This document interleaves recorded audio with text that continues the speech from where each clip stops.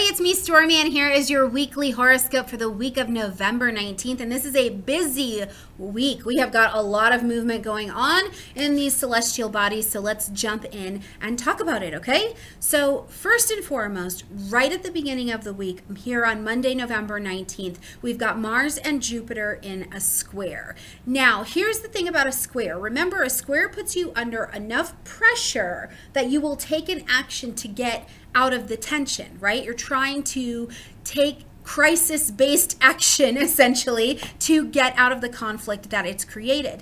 Now, Mars is over in Pisces. We've got Jupiter in Sagittarius. I do love that both of these are actually very friendly energies, but the trouble that I see with them is that they both can be a little bit delusional, right? Sagittarius can be very grandiose. The story is bigger than it needs to be. Pisces is just walking between those worlds, so things are not necessarily always clear. So one of the things I will tell you with Mars being our action planet, how we're doing things, pay attention this week and try to not take on too much because you'll think, oh yeah, I can just do that extra little thing. That's not a big deal. And it will end up consuming your time in a way that you did not mean for that to happen. So please be careful to not be too grandiose this week and take on more than your plate can actually happen. Happen, handle. Now the good news about it is that I feel like if you've been trying to come to some spiritual resolution, creative resolution, um, expand something out creatively, something like that, this square could actually uh, very much so be in your favor. Not to mention that on Tuesday the 20th, we've got the sun in a really nice trine with Chiron. So this is again a, an out pouring of healing energy. So I think between the square and this trine, this is a really nice setup for creativity, um, for vision, for open-mindedness, and some action towards all of those things as well. Now, here's the other thing that I want you to think about. We've got on Thursday the 22nd, we have got um, we've got the sun here in Sagittarius right? This is a very open-minded travel adventure. So you could be traveling, so that's fun too. Travel-some, adventuresome energy. It's very optimistic. It's also seeking the truth though. It's an information gathering and sharing energy, which having this be Thanksgiving in the United States, how fun is that? You could be being social. You know, you're coming back together with Friendsgiving or Thanksgiving or family or whatever that looks like. Um, so it creates an atmosphere of conversation that I think is a lot brings a lot of healing to the table this week. Now we've also got this full moon happening on the 22nd as well in Gemini. So this is bringing conversation to the table, new thinking, new ideas. That full moon says that something has to be ended, acknowledged or adjusted. And in the energy of Gemini, it's networking, so it's relationships, right? It's conversation, communication, decision making,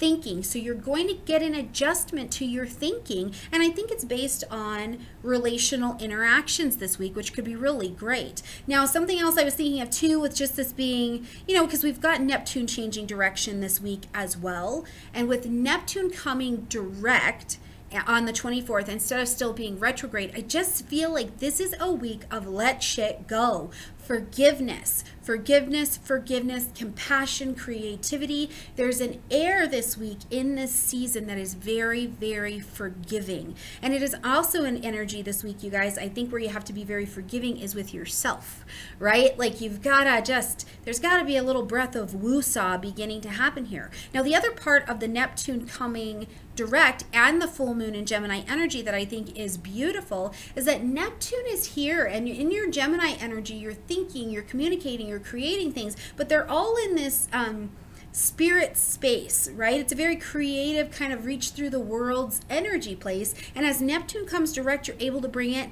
moving forward into more concrete reality. So if it's a creative idea, if it's something with children, elderly people, whatever whatever your natal horoscope really says will show you exactly what you're going to be able to pull concrete down, but something can become concrete and tangible, okay? Now, as we get to Sunday, the 25th, we've got the Sun and Jupiter in a conjunction, and I love this. I love this energy. Sun Jupiter conjunction is very bright. Um, it brings a, a, a very general sense of just happiness, well being. I'm telling you, this is a week where if you've needed some healing, you've needed to just drop your shoulders down, take a deep breath, get ready for December. This is a beautiful week of general well-being out in the world. It makes it makes it feel like things are going to be okay, which in the end things are going to be okay, right? So, really beautiful week um, lots of expansion, lots of availability for compassion and forgiveness happening this week. Some creativity. Turn that music up. You know, the weather outside is frightful. We need some of that in our life this week. And if you are not in the United States, if you do not celebrate Thanksgiving, if that's not what you got going on, I would just like to extend a greeting, a blessing, a happiness to whatever it is that you celebrate during this part of the season and in all of the days and weeks moving forward, okay? All right, you guys, if you are needing slash wanting to go over your natal chart, if you're not understanding where these placements are, what does this mean? How does this play out for you? Come sit down with me. Let's do a natal chart reading. Let's go over this so that you can get some understanding of how these energies are working in your world and your chart. Even if you only ever understand them in a very vague way, at least you'll know your energies and your chart. So that way nobody can tell you some ish over there, right? All right, you guys have a phenomenal week. Like this video, comment, share, subscribe, and I will see you next week, okay? Bye.